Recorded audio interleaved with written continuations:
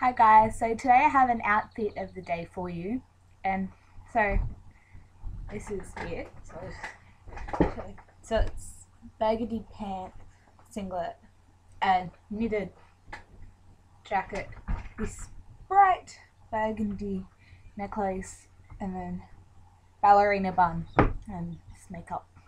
I have it really um, low key with jewelry because a statement necklace and the coloured jeans statement necklace. It's not a necklace, it's a headband. Sorry guys, but um yeah, kind of going slightly mental. Yes, the headband and coloured jeans are enough, I think, are enough statement, along with the fact that I have a pretty decent amount of eye makeup on. If you guys have seen my other videos, you'll know that I don't usually wear too much eye makeup, but I put a decent amount on today. So I'm going to show you what I did. So I have my foundation, and then I have my Australis um, Paparazzi Perfect blush on that you'll have seen in my one of my haul videos. And my lips, I just have my Peach Parfait Revlon lip butter.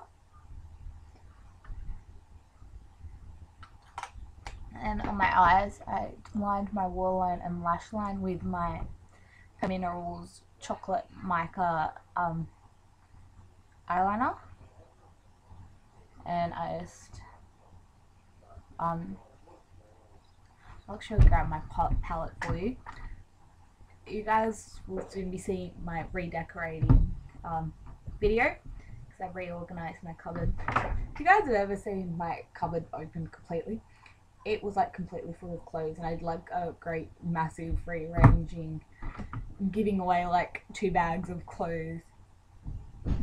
Sorry.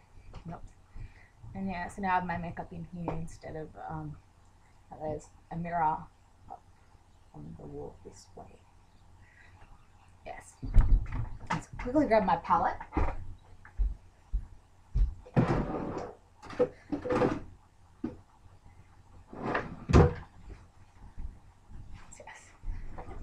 a lot easier to get to my makeup now. I'm trying to find, go through all the drawers I had in um, my old storage So what I did is put this colour along my lash line just to um, set the um, eyeliner.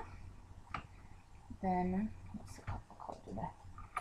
Use this colour all over my lid and then I put a bit of this colour on top of it and then with a blush brush I just blended it so it had a bit of colour up above the crease and just blended it up and I just use this cream colour as a highlight in my inner corner and under my brow bone so fairly simple if you want me to do a full on demonstration of how to do this makeup I'll leave a comment down below and I will check it out Okay, something else I want to actually show you. My palette here. Is my nails. I want to thank Tracy and Stephanie from 11th Gorgeous for um, showing me this. It's uh, color blocking nails. And so what I have is on these fingers on this and these ones here. So it's kind of alternating. So here I have my matte coral that I put a top coat on because um, yeah, I want wanted because I know the matte didn't work too well in this color.